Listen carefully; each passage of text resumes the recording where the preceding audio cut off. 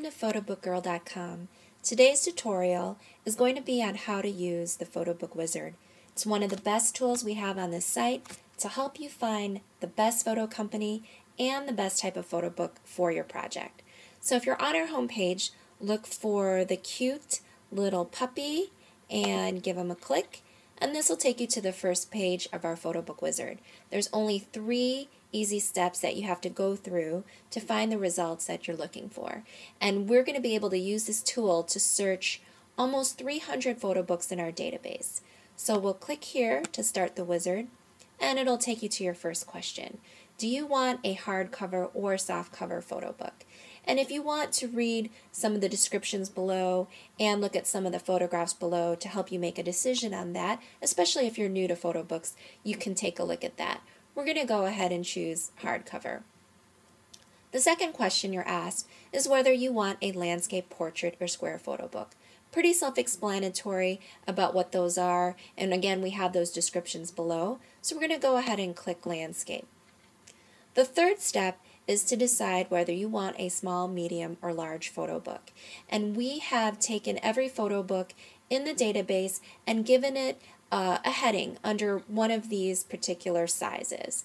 We're going to go ahead and pick medium, and 8 by 10 is considered a medium book. So we're going to go ahead and choose a very popular size. Then, after doing that, you get to the results page and you'll see that you have the option to change any of those things that you selected before uh, to change around your results at any point. And you don't have to go back through the whole wizard to do that. Now that you're here, you can use the tools that are on this page. As you can see, we found a bunch of photo books here. You can use these column headings to sort through all of these photo books. And you can also decide to eliminate some of these photo books from your results so that you can see a narrow subset of what you're looking for. One thing I want to point out too is that you can filter by choosing lay flat, lay flat books only, for instance.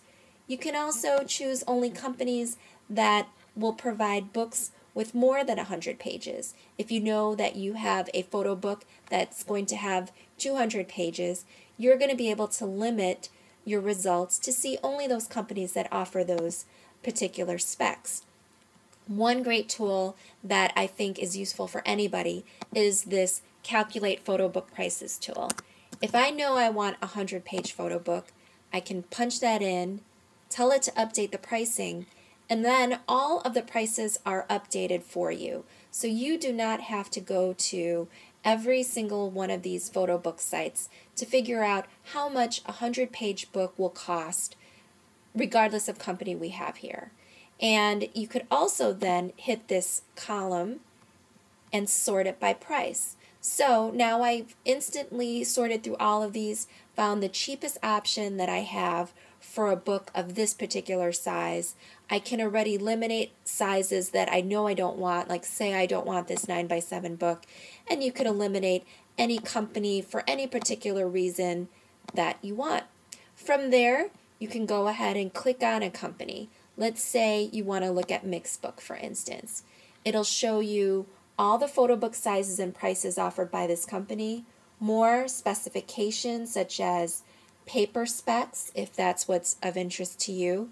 You can also look at reviews that we might have on the site with regards to this particular company. Every single company in the database has this type of overview where you could see what type of software um, software features each one of the company has.